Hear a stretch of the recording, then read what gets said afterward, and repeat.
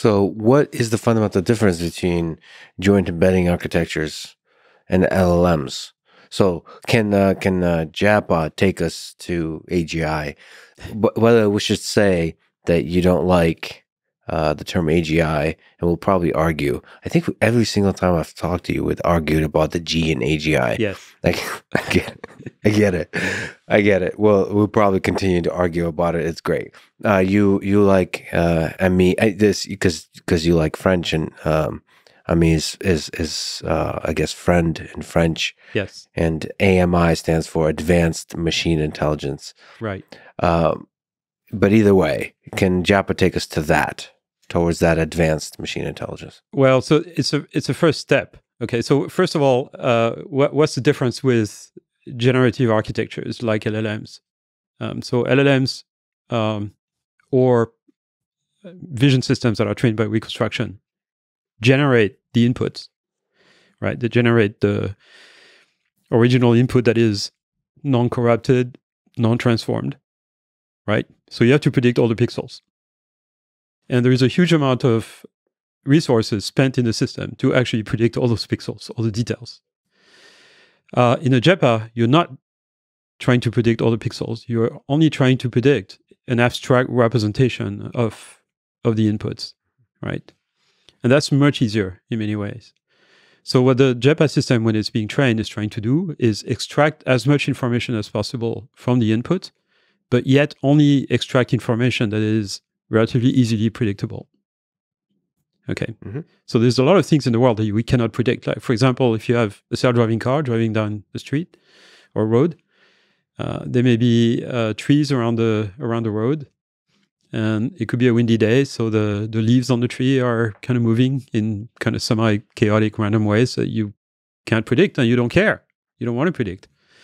So what you want is your encoder to basically eliminate all those details. It will tell you there's moving leaves, but it's not going to keep the details of exactly what's going on. Um, and so when you do the prediction in representation space, you're not going to have to predict every single pixel of every leaf. And that, you know, um, not only is a lot simpler, but also it allows the system to essentially learn an abstract representation of, of the world where, you know, what can be modeled and predicted is preserved and the rest is viewed as noise and eliminated by the encoder. So it kind of lifts the level of abstraction of the representation. Mm-hmm. If you think about this, this is something we do absolutely all the time.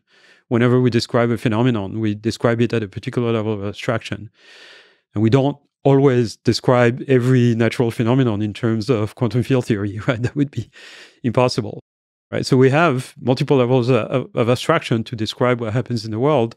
You know, starting from quantum field theory to like atomic theory and molecules, you know, in chemistry, materials, and you know, all the way up to you know, kind of concrete objects in the real world and things like that. So the we we can't just only model everything at the lowest level, and that that's what the idea of JEPA is really on is really about. Learn abstract representation in a self-supervised uh, manner, and you know you can do it hierarchically as well. So that I think is an essential component of an intelligent system. And in language, we can get away without doing this because language is already to some level abstract and already has eliminated a lot of information that is not predictable. And um, so we can get away without doing the joint embedding without you know lifting the abstraction level and by directly predicting words. So joint embedding, it's still generative, but it's generative in this abstract representation space. Yeah. And you're saying language, we were lazy with language because we already got the abstract representation for free. And now we have to zoom out, actually think about generally intelligent systems. We have to deal with a full mess of physical reality, of reality. And you can't, you, you do have to do this step of jumping from uh, the full, rich, detailed reality to a uh, abstract representation of that reality based on which you can then reason and all that kind of stuff. Right. And the thing is those self-supervised algorithms that that learn by prediction even in representation space uh, they learn more uh, concept if the input data you feed them is more redundant the, the more redundancy there is in the data, the more they're able to capture some internal structure of it. And so there, there is way more redundancy and structure in perceptual uh, inputs, sensory input, like like like vision, than there is in uh, text, which is not nearly as redundant. This is back to the question you were asking a few minutes ago. Language might represent more information, really, because it's already compressed. You're you're right about that, but that means it's also less redundant, and so self-supervised learning will not work as well. Is it possible to join the self-supervised training on visual data and self-supervised training on language data? There is a huge amount of knowledge, even though you talk down about those 10 to the 13 tokens. Those 10 to the 13 tokens represent the entirety, a large fraction of what us humans have figured out. Both the shit talk on Reddit and the contents of all the books and the articles and the full spectrum of human uh, intellectual creation. So, is it possible to join those two together? Well, eventually, yes. But I think uh, if we do this too early, we run the risk of being tempted to cheat. And in fact, that's what people are doing at the moment with uh, vision language model. We're basically cheating.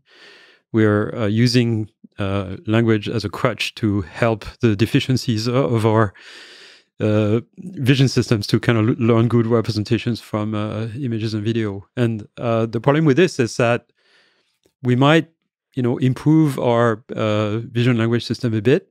I mean, our language models by you know feeding them images, but we're not going to get to the level of even the intelligence or level of understanding of the world of a cat or a dog, which doesn't have language.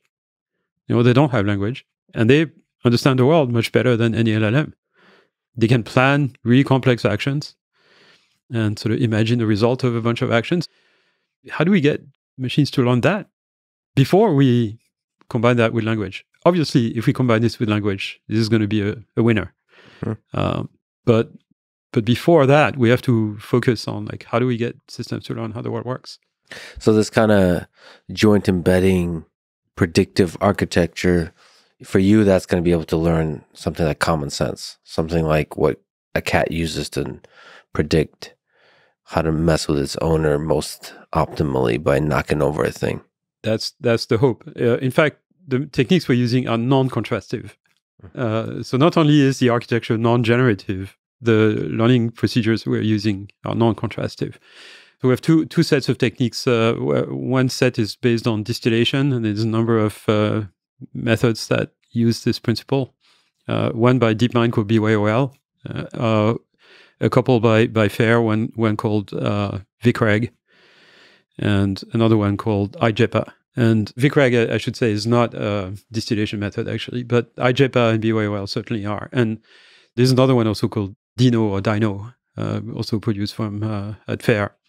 And the idea of those things is that you take the full input, let's say an image, you run it through an encoder, uh, produces a representation. And then you corrupt that input or transform it, run it through the essentially what amounts to the same encoder with some minor differences. And then train a, a predictor. Sometimes the predictor is very simple, sometimes doesn't exist, but train a predictor to predict a representation of the first uh, uncorrupted input from the corrupted input. Um, but you only train the the second branch um, you only train the part of the network that is fed with the corrupted input. The other network you don't you don't train, but since they share the same weight, when you modify the first one, it also modifies the second one. Uh, and with various tricks, you can prevent the system from collapsing. Uh, with the collapse of the type I was explaining before, where the system basically ignores the input. Um, so that works very well. The the technique uh, with the two techniques we developed at Fair, uh, Dino and uh, and IJEPA work really well for that. So, what kind of data are we talking about here? So, this there's several scenario. One uh, one scenario is you take an image, you corrupt it by um, changing the cropping, for example, changing the size a little bit, maybe changing the orientation, blurring it, changing the colors, doing all kinds of horrible things to it. But basic horrible things. Basic horrible things that sort of degrade the quality a little bit and change the framing, uh, you know, crop the image, um, or and in some cases, in the case of IJEPA, you don't need to do any of this. You just you just mask some parts of it, right? You just basically remove some regions, like a big block, essentially, and and then you know run through the encoders um, and train the entire system, encoder and predictor, to predict the representation of the good one from the representation of the corrupted one. Mm-hmm. Um, so that's the IJEPA. Doesn't need to know that it's an image, for example, because the only thing it needs to know is how to do this masking. Mm-hmm. Uh, whereas with Dino, you need to know it's an image because you need to do things like you know geometry transformation and blurring and things like that that are really image specific. Uh, a more recent version of, of this that we have is called VJEPA. So it's basically the same idea as IJEPA, except um, it's applied to video. So now you take a whole video and you mask a whole chunk of it. And what we mask is actually kind of a temporal tube. So an all like a whole uh, segment of each frame in the video over the entire video. Mm-hmm. And that tube was like statically positioned throughout the frames. So throughout, literally straight the, tube. The, the, the tube, yeah, typically is 16 frames or something, and we mask the same region over the entire 16 frames. It's a different one for every video, obviously, and um, and then again, uh, train that system so as to predict the representation of the full video from the partially masked video. Uh, and that works really well. It's the first system that we have that learns good representations of video so that when you feed those representations to a supervised uh, classifier head, it can it can tell you what action is taking place in the video with you know pretty good accuracy.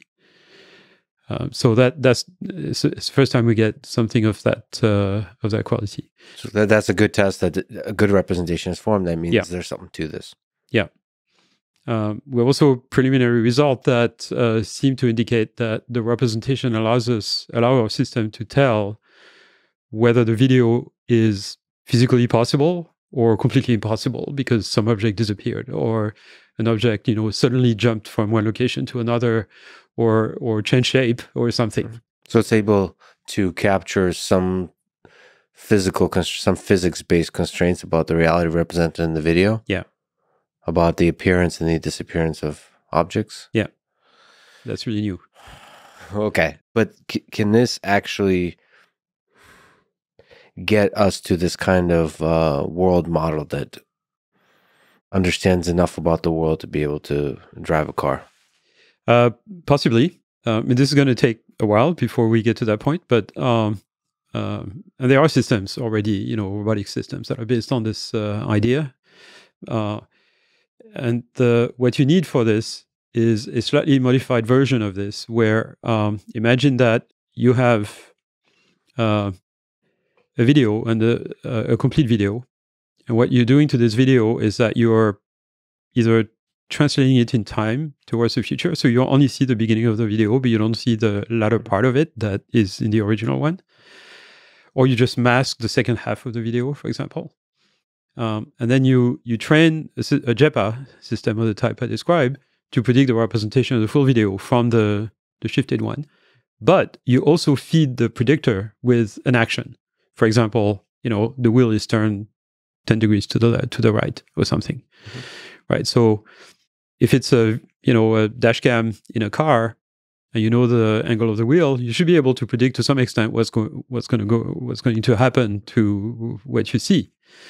Uh, you're not going to be able to predict all the details of you know objects that appear in the view, obviously, but at a abstract representation level, you can you can probably predict what's going to happen. Mm-hmm.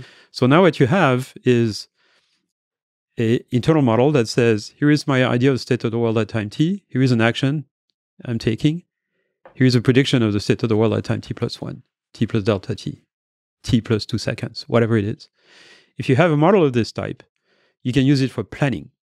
So now you can do what LLMs cannot do, which is planning what you're going to do so as to arrive at a particular uh, outcome or satisfy a particular objective, right? So you can have a number of objectives, um, right? If you know, I can I can predict that uh, if I have uh, an object like this, right, and I open my hand, it's going to fall, right? Mm-hmm. And uh, and if I push it with a particular force on the table, it's going to move. If I push the table itself, it's probably not going to move uh, with the same force.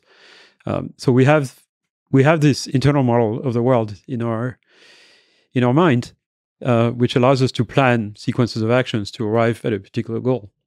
Um, and so, uh, so now, if you have this world model, we can imagine a sequence of actions, predict what the outcome of the sequence of action is going to be, measure to what extent the final state satisfies a particular objective, like you know, moving the bottle to the left of the table, uh-huh. um, and then plan a sequence of actions that will minimize this objective at runtime. We're not talking about learning, we're talking about inference time. Right. So this is planning, really. And in optimal control, this is a very classical thing. It's called uh, model predictive control. You have a model of the system you want to control that you know can predict the sequence of states corresponding to a sequence of commands, and you're planning a sequence of commands so that according to your world model, the the the end state of the system will uh, satisfy uh, an objectives that you fix. This is the way, uh, you know, rocket trajectories have been planned since computers have been around. So since the early '60s, essentially. So yes, for model predictive control, but you also often talk about hierarchical planning. Yeah. Can hierarchical planning emerge from this somehow? Well, so no, you, you will have to build uh, a specific architecture to allow for hierarchical planning. So hierarchical planning is absolutely necessary if you want to plan complex actions. Uh, if I want to go from, let's say, from New York to Paris, it's the example I use all the time, and I'm sitting uh, in my office at NYU, my objective that I need to minimize is my distance to Paris.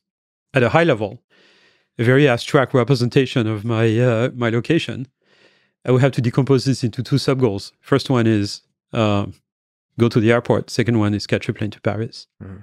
Okay, so my sub goal is now uh, going to the airport. My objective function is my distance to the airport. How do I go to the airport? Where I have to go in the street and hail a taxi, mm-hmm. which you can do in New York. Um, okay, now I have another sub goal. Go down t- on the street uh, what that means uh, going to the elevator, going down the elevator, walk out the street. How do I go to the elevator?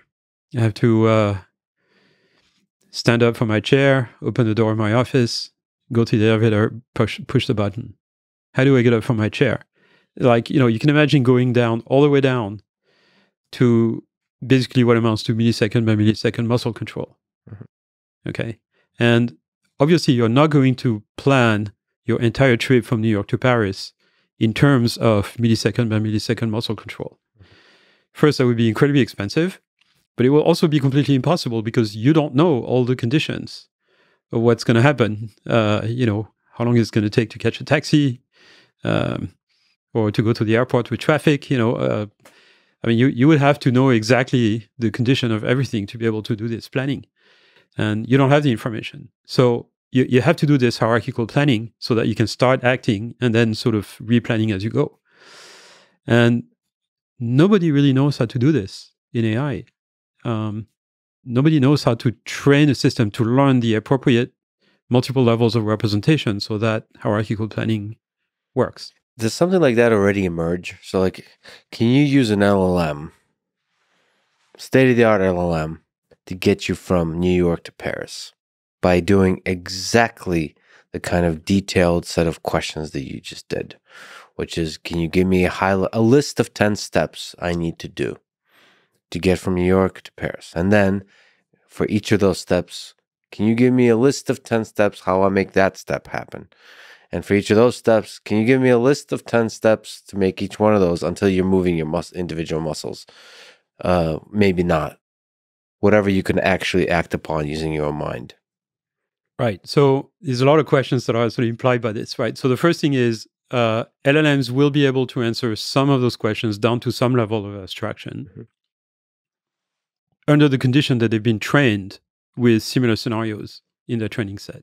They would be able to answer all of those questions, but some of them may be hallucinated meaning non-factual. Yeah, true. I mean, they will probably produce some answer, except they're not going to be able to really kind of produce millisecond by millisecond muscle control of how you how you stand up from your chair, mm-hmm. right? So, but down to some level of abstraction where you can describe things by words, they might be able to give you a plan, but only under the condition that they've been trained to produce those kind of plans, mm-hmm.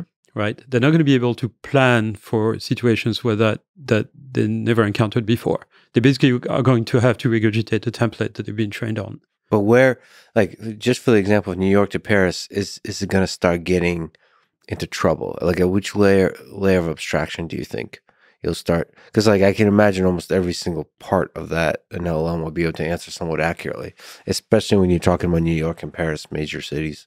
So, I mean, certainly, uh, LLM would be able to solve that problem if you fine tune it for it. Uh, you know, sure. just uh, and and so uh, I can't say that an LLM cannot do this. It can do this if you train it for it. There's no question. Uh, down to a certain level, where things can be formulated in terms of words. But like, if you want to go down to like how you you know climb down the stairs or just stand up from your chair in terms of uh, words, like you you can't you can't do it. Um, you, you you need that's one of the reasons you need experience of the physical world, which is much higher bandwidth than what you can express in words in human language. So everything we've been talking about the, on the joint embedding space, is it possible that that's what we need for like the interaction with physical reality for on the robotics front, and then just the LLMs are the thing that sits on top of it for the bigger reasoning about like the fact that I need to book a plane ticket and I need to know I know how to go to the websites and so on. Sure, and you know a lot of plans that people know about uh, that are relatively high level are actually learned. They're not people. Most people don't invent the you know plans. Um, uh, they they by themselves. They uh, you know we have some ability to do this, of course, uh, obviously, but um, but most plans that people use are plans that they've been trained on. Like they've seen other people use those plans or they've been told how to do things, right? Um, like you can't invent how you like take a person who's never heard of airplanes and tell them like how do you go from New York to Paris and they're probably not going to be able to kind of you know deconstruct the whole plan uh, unless they've seen examples of that before. Um, so certainly LLMs are going to be able to do this, but but then um, how you link this from the the low level of of of actions uh, that needs to be done with things like like JEPA that basically lift the abstraction level of the representation without attempting to reconstruct every detail of the situation. That's why we need JEPAs for. I would love to sort of linger on your skepticism around uh, autoregressive LLMs. So, one way I, I would like to test that skepticism is everything you say makes a lot of sense. But if I apply everything you said today and in general to like, I don't know, 10 years ago, maybe a little bit less, no, let's say three years ago, I wouldn't be able to predict the uh, success of LLMs. So, does it make sense to you that autoregressive LLMs are able to be so damn good? Yes. Can you explain your intuition? Because if I were to take your wisdom and intuition at face value, I would say there's no way autoregressive LLMs, one token at a time, would be able to do the kind of things they're doing. No, there's one thing that uh, autoregressive LLMs, uh, or that LLMs in general, not just the autoregressive one, but including the BERT style bidirectional ones, mm-hmm. uh, are exploiting, and it's self supervised learning. And I've been a very, very strong advocate of self supervised learning for many years. So those things are a incredibly impressive demonstration that self-supervised learning actually works. Uh, the idea that you know started, uh, it didn't start with with uh, with BERT, but it was really kind of a good demonstration with this. So the the the idea that you know you take a piece of text, you corrupt it, and then you train some gigantic neural net to reconstruct the parts that are missing. Um, that has been an enormous uh, uh, produced an enormous amount of benefits uh, it allowed us, allowed us to create systems that understand understand language, uh, systems that can translate um, hundreds of languages in any direction, systems that are multilingual, so they're not. It's a single system that can be trained to understand hundreds of languages and translate in any direction, um, and produce uh, summaries, um, and then answer questions and produce text.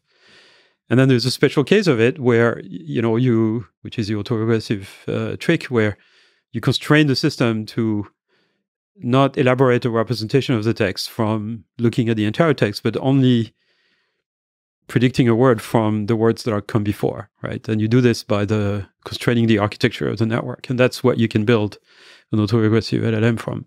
So there was a surprise uh, many years ago with what's called decoder only uh, LLM. So since you know systems of this type that are just trying to produce uh, words from the from the previous one, and and the fact that when you scale them up, they they tend to really kind of understand more about the uh, about language uh, when you train them on lots of data you make them really big that was kind of a surprise and that surprise occurred quite a while back like you know uh, with uh, work from uh, you know google meta openai etc you know going back to you know the gpt kind of uh, work general pre-trained transformers you mean like gpt-2 like there's a certain place where you start to realize scaling might actually keep giving us uh, an emergent benefit. Yeah, I mean there were there were work from from various places, but uh, uh, if if you want to kind of you know place it in the in the GPT uh, uh,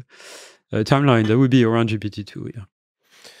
Well, I just because you said it, you're, you're so charismatic and you said so many words, but self supervised learning, yes. But again, the same intuition you're applying to saying that autoregressive LLMs cannot have a deep understanding of the world, if we just apply that same intuition, does it make sense to you that they're able to form enough of a representation of the world to be damn convincing, essentially passing the original Turing test with flying colors? Well, we're fooled by their fluency, right? We just assume that if a system is fluent in, in manipulating language, then it has all the characteristics of human intelligence. But that impression is false. We, we, we're really fooled by it. Um, what, what do you think Alan Turing would say? It without understanding anything, just hanging out with it. Alan Turing would decide that a Turing test is a really bad test. Okay, this is what the AI community has decided many years ago that yeah. the Turing test was a really bad test of intelligence. What would Hans Moravec say about the uh, about the large language models? Well, Hans Moravec would say the Moravec paradox still applies. Okay. Okay.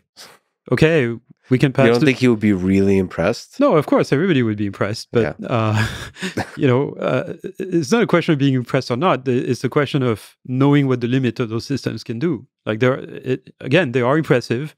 They can do a lot of useful things. There's a whole industry that is being built around them.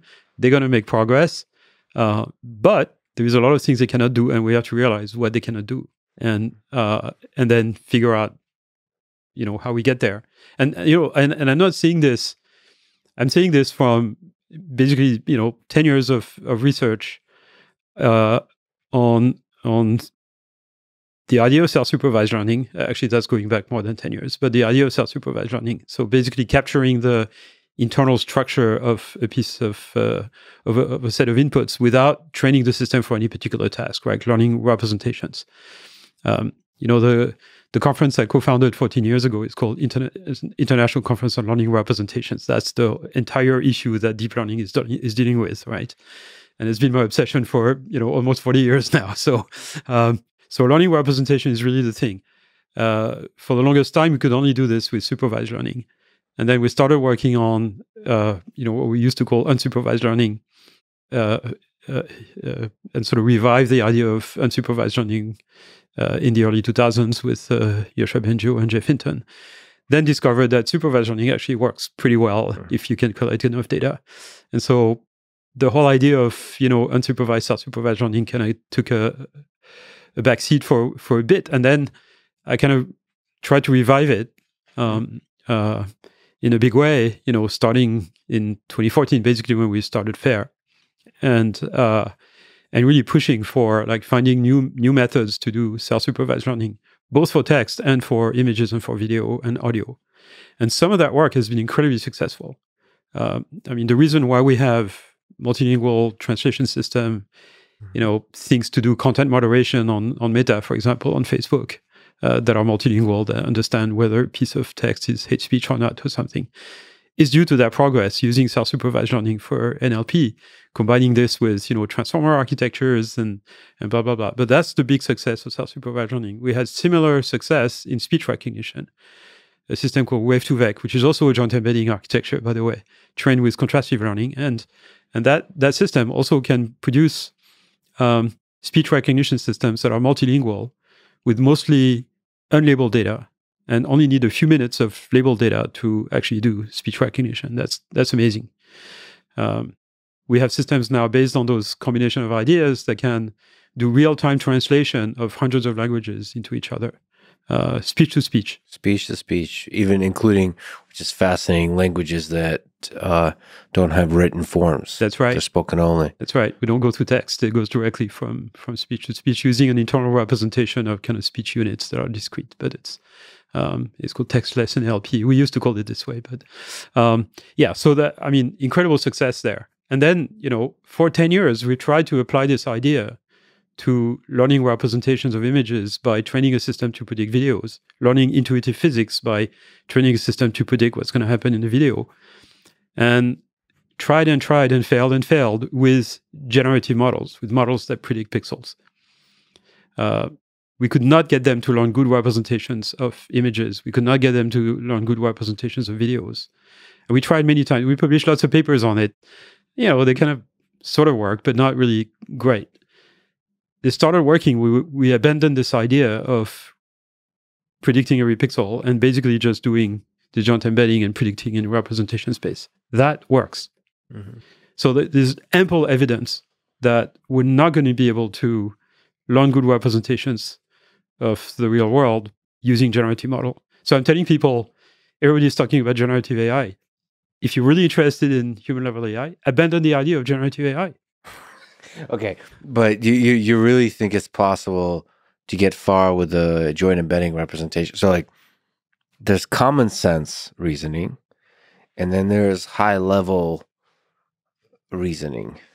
Like I, I feel like those are two the kind of reasoning that LLMs are able to do. Okay, let me not use the word reasoning, but the kind of stuff that LLMs are able to do seems fundamentally different than the common sense reasoning we use to navigate the world. Yeah. It seems like we're going to need both. You're not sure. Would you be able to get with the joint embedding, which is a JEPA type of approach, looking at video, would you be able to learn let's see, well, how to get from New York to Paris or um, how to uh, understand understand the st- state of politics in the world today. right? These these are things where various humans generate a lot of language and opinions on in the space of language, but don't visually represent that in any clearly uh, compressible way. Right. Well, there's a lot of situations that you know might be difficult to for a purely language based system to sure. um, to know, like. Okay, you can probably learn from reading text, the entirety of the public publicly available text in the world that I cannot get from New York to Paris by snapping my fingers. Mm-hmm. That's not going to work, right? Yes. Uh, but there's you know probably sort of more complex uh, scenarios of this type, which an LLM may never have encountered and may not be able to determine whether it's possible or not. Um, so, mm-hmm. um, so that that link, you know, from the the low level to the high level the, the thing is that the high level that language expresses is based on a common experience of the low level, which LLMs currently do not have. You know, we when we talk right. to each other, we know we have yeah. a common experience of the of the world. Like you know, uh, a lot of it is is similar, uh, and LLMs don't have that.